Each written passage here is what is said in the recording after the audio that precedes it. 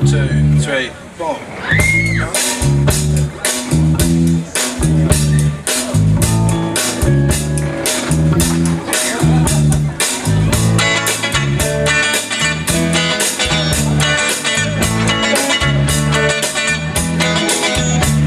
The purpose of man is to love a woman and the purpose